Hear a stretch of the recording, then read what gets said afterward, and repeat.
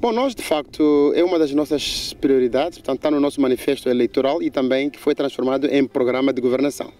Uh, tanto em 2012, 2013, 2014 e agora em 2016, nós temos levado a cabo uma série de ações com vista a mitigar esta questão uh, do meio ambiente.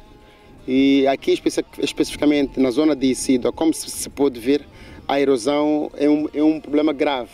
E eh, a estratégia que nós encontramos aqui foi de criarmos uma zona tampão, uma zona de proteção à nossa urba, que é através, portanto, do plantio de mangais. Nós temos aqui cerca de 50 hectares, em que nós estamos neste momento, a, aliás, desde o ano passado, a fazermos o plantio de, de mangais com o apoio uh, da USAID.